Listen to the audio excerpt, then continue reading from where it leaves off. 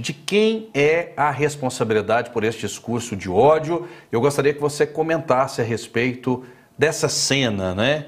É, eles não falaram é, propriamente o nome de Jair Bolsonaro, mas é muito claro que estão fazendo referência ao atual presidente da República, haja vista que estava na motociata, a faixa presidencial, enfim, Oséias Varão, qual a sua avaliação sobre essa cena, sobre o que tem acontecido no Brasil, Oséias? Boa tarde, Rafael. Boa tarde ao promotor Fernando Krebs, boa tarde aos nossos telespectadores e internautas que nos acompanham nas redes sociais. Eu acho, Rafael, que nós estamos chegando num momento em que é, as pessoas precisam buscar a racionalidade no debate público, no debate político. Né? É, ao longo dos últimos tempos, gente, nós temos visto um acirramento muito grande e que eu acho que tem tudo para fazer mal para o Brasil, fa fazer mal para o nosso país. Nós não podemos transformar a guerra política numa guerra pessoal, numa guerra onde não há, não há regra, onde não há respeito. Eu acho que esse é o princípio que a gente tem que conclamar todos para nos submeter. Agora, é preciso deixar bem claro o seguinte: na minha visão, é, a esquerda, ou os esquerdistas propriamente dito, me refiro a petistas, pessoalistas, né, eles têm aquele hábito de acusar os outros daquilo que eles fazem. Tá? Nós que somos brasileiros acompanhamos a história do Brasil recente. E nós vimos ao longo desse tempo o PT destilando ódio para todo canto. Né? Em relação à direita, principalmente, né? trata a direita assim, de uma maneira muito desrespeitosa, uma afronta muito grande. É, só basta você ver que eles adjetivam o presidente Bolsonaro de fascista. Né? Nesse, nesse, personagem mesmo aí, eles colocaram uma cruz de, do nazismo, aquela cruz simbólica do, do, nazismo, eles colocaram desenhada no peito desse, desse presidente que eles estão assassinando aí. E aí nós precisamos lembrar o seguinte: é, quem levou uma facada vítima de discurso de ódio foi o presidente Bolsonaro. É porque as pessoas não lembram. Naquela época que o Adélio Bispo saqueou o Bolsonaro, havia uma ampla campanha, eu me lembro bem da parte do PSDB e da parte do PT, desumanizando o Bolsonaro. Basta você ver os programas eleitorais daquela época, poucos dias antes do Adélio saquear o Bolsonaro, era uma verdadeira, era uma campanha massiva de desumanização do Bolsonaro, de ódio ao Bolsonaro. Essa é a verdade. Então, e a violência, o ódio, na minha visão, é parte intrínseca do comportamento da esquerda. O que nós temos visto é o presidente Bolsonaro, ele é duro, ele é incisivo às vezes no, no embate político, mas ele procura tratar, por exemplo, uh, o presidente não está perseguindo a imprensa no Brasil. Eu acho interessante que transformam a crítica em ataque e o ataque em crítica, né? Quando, quando convém. Então, o presidente Bolsonaro, por exemplo, tem dito o seguinte: olha, nós queremos que todos sejam livres para se manifestar no Brasil. Que tipo de, de, de, de líder autoritário é, defende a ampla e total liberdade de expressão? Isso não existe. Todo líder autoritário, na verdade, o que ele quer é impedir as pessoas de, de falar, limitar a liberdade de expressão.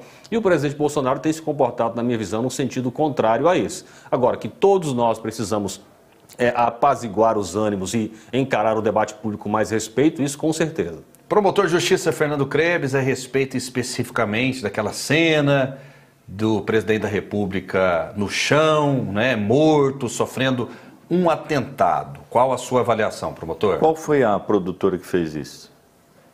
Eu posso aqui pegar para você é, essa, eu, eu, não sei essa, qual foi a produtora. Essa produtora. Não é? qual, produtora. E qual o interesse, né?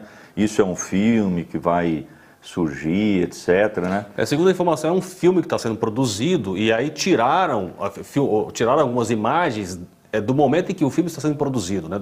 no momento em que as cenas é um spoiler. Estão, é, do momento em que as cenas estão sendo gravadas. O que também não é uma novidade fazer um spoiler né, de filme, até para divulgar o próprio filme, né? Uh, a gente não pode proibir as pessoas de fazer o filme, né? Mas é liberdade ou irresponsabilidade? Pegar pesado demais, principalmente nesse momento. Mas daí você vem na questão da censura, né? Então daí não pode fazer filme. Não é? Daí uh, a gente pode até dizer assim que o momento não é adequado para ficar divulgando isso. Você Aí eu concordo, que, você sabe mas, o que, eu acho, Rafael? Mas, mas, daí é o seguinte, o, o Osés acabou de falar que o presidente defende a liberdade. Bom, liberdade é isso, é de poder divulgar uma obra de arte, um trabalho, um filme, um filme. Ah, mas o filme vai instigar a violência. Bom, ninguém melhor que o presidente para instigar a violência, ele faz isso todo dia. Né? Inclusive, um dos seus aliados acabou de uh, invadir um ato de um candidato a governador no Rio de Janeiro, o Freixo, armado com uma milícia própria, e acabou com o ato. Não é? O Osés acabou de falar que o problema é a esquerda. Não é? Mas quem fala que a esquerda é esquerdopata e, portanto, alguém da esquerda é doente, porque seria um sociopata, não é? É a direita, não é a esquerda. Não é? E daí ele fala assim: não, mas a esquerda fala aquilo que ela pratica e a direita faz o quê? A mesma coisa. Não é? E daí vão parar a história, né?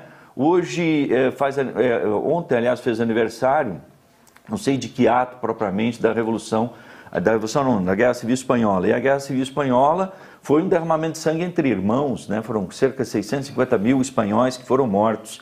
Né? E quem estava de um lado, a direita, representada pelo Franco, que governou a Espanha por quase 40 anos, apoiada pelos fascistas e pelos nazistas de Hitler, que bombardearam Guernica, famosa de Picasso, que a gente vê no Museu, uh, Museu Reina Sofia, na, em Madrid que é uma obra belíssima, um painel fantástico, né, e que denuncia justamente essa violência. Né? E a própria direita diz assim, não, que o fascismo ele é socialista, que o nazismo é socialista, deturpando a história.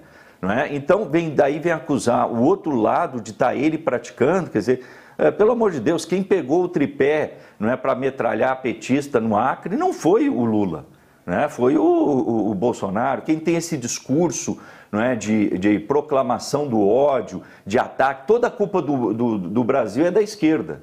Não é, não é, do, do, não é do Michel Temer, não é de, do próprio presidente, de ninguém. É sempre, é sempre da esquerda, é do PT, não sei mais que.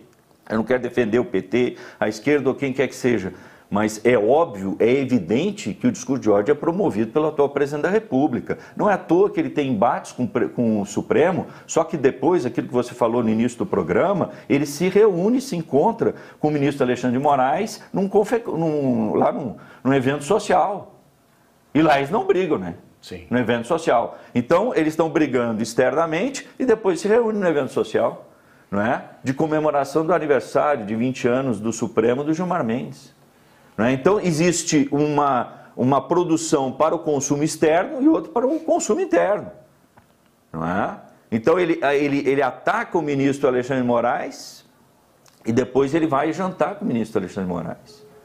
É? Então, a gente tem que ficar atento a isso. Né? né? Na verdade, tem um grande teatro aí. Né? Os políticos eles são grandes atores teatrais. Né? Eles fazem muito teatro. Né? O Brasil já se dividiu entre o Lula e o Alckmin. O Alckmin é vice do Lula. O Alckmin é vice do Lula, quando na época que o Brasil se polarizava entre PT e PSDB. Promotor, olha só. A equipe né, disse que a divulgação do trecho é ilegal e que o longa-metragem será lançado em 2023. Portanto, não há qualquer relação com o processo eleitoral. E muito menos forjar fake news, afirma a produção em nota, Oséias. É a produção de quem? Da... A produção do, do filme, do longa-metragem. É, quem é que está produzindo o filme? É, é uma produtora não é tão conhecida. Eu vou pegar, assim, eu vou pegar a informação aqui. É, mas o restante eu, da informação. Eu acho, Rafael, olha só, o, o, o, nós estamos numa situação interessante aqui, né? O promotor diz que toda a culpa do ódio é da direita e eu estou dizendo que toda a culpa do ódio é da esquerda. Eu acho que, na verdade, nós temos que fazer uma, uma reflexão mais isenta sobre tudo isso. É, ambas as partes, eu acho que precisam ter como princípio o respeito mútuo, né? Eu acho que a direita, no debate público, precisa incentivar, pelo menos aquelas pessoas que procuram um posicionamento mais racional no debate público, incentivar as pessoas a respeitarem aquele que pensa diferente, evitar esse tipo de adjetivação que eu acho que acaba sendo extremamente pejorativa e desnecessária, né? Eu acho que para a gente fazer uma análise racional aqui, ambos os lados precisam realmente ter mais cuidado com aquilo que é dito e procurar tratar o outro com respeito. Eu acho que esse é o grande desafio do debate público no Brasil, inclusive hoje, porque a gente não sabe, inclusive, aonde é que isso vai parar, né? Se os ânimos continuarem se acirrando da forma que está, a gente não sabe onde é que isso vai parar e ninguém quer isso para o Brasil.